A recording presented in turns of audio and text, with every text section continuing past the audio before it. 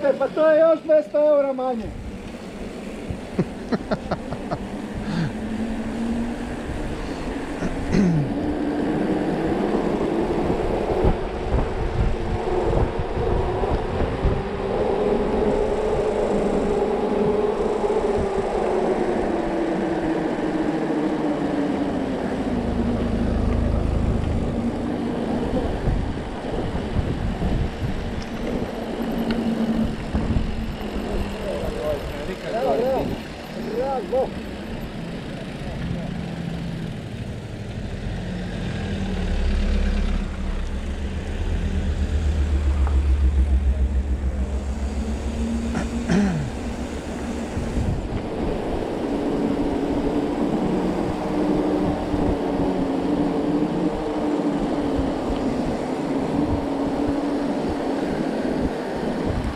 Na kraju vožnje će biti sretan da ga hoćeš uopće uzeti.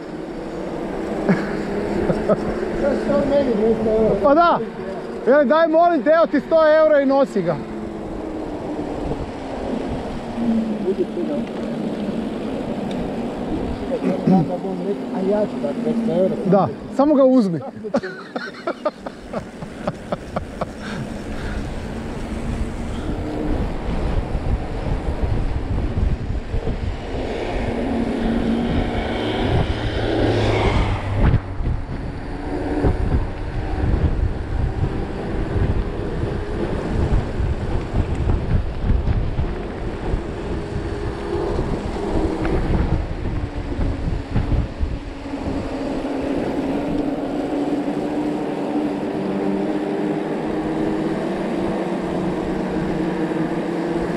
Joj, tu niže dole ima štigl piva.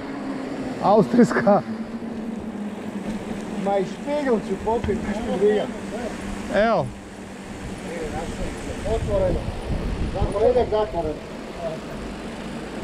e tu dole desno ova tenda. Filip, tu na štigl. Evo na štigl ovdje. Tu. Da.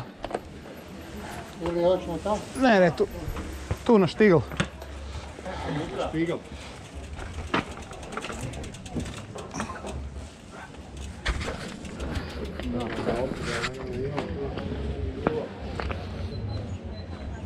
Uvi.